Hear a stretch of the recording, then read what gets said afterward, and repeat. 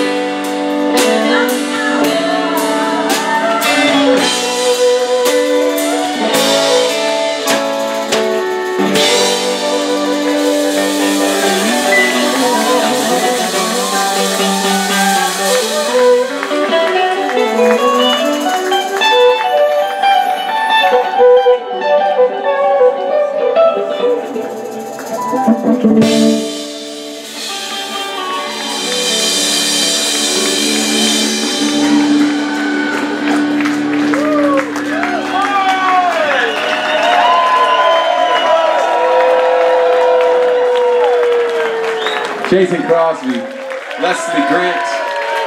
Doesn't she sing that song beautifully?